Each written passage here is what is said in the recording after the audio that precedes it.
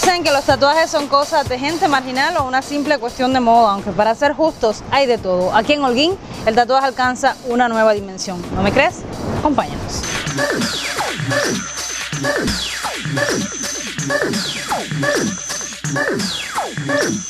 Bueno, a mí en lo personal el tatuaje no me gusta, lo veo como una moda, una banalidad, por decirlo de algún modo, de la media, ¿ves? Grupos marginales, expresidiarios. Yo en lo personal no me haría nunca, no va a ser que me arrepienta y es una marca que te queda para toda la vida. Se veía mal. Yo recuerdo que mi mamá me dijo, no te vayas a tatuar. Pero ya la sociedad lo mismo, tú me traes a un médico tatuado a un policía, a un jefe sector perfectamente con un tatuaje.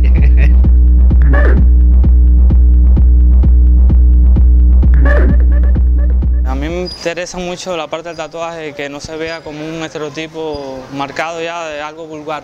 A mí lo que me interesa es que se vea ya como el arte como tal corporal del cuerpo, un body art.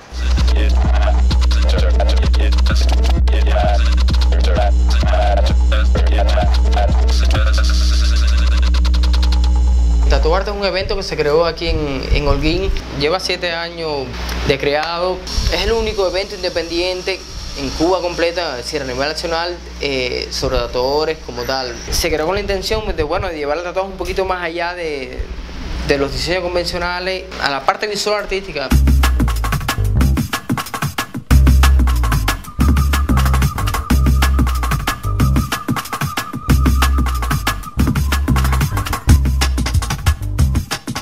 Mira, el tatuaje hoy por hoy se ve de otra manera. Algunas personas que estudiaron artes plásticas estamos preparadas para eso, ¿no? En la escuela tiene su lienzo, en la calle tiene, por ejemplo, la piel de las personas. Uno debe hacer arte en la piel de la persona, que es lo que estamos trabajando. Nosotros tenemos ciertas responsabilidades. Uno siempre tiene que coger y encaminar al cliente para que se haga un buen diseño sin perder la idea que él trae. El tatuaje tiene una cosa. Una vez que te pincha, creas una adicción y quieres seguir tatuándote. Vamos a ver si es verdad.